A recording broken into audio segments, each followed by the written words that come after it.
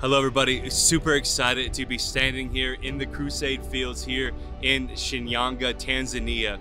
And over the past several months, uh, evangelism bootcamp students have been here preparing the way of this decade of double harvest. And it's amazing to be able to see the vision come to life here in just a few days. We're going to be sharing the gospel in Shinyanga and several other cities. And next week, another two cities to see the Decapolis come to life. You know, in the midst of the pandemic, where it seems like the world is shut down, Tanzania has opened their doors and we're taking full advantage that the gospel will be preached where there truly is the harvest time and the harvest is now and Tanzania shall be saved.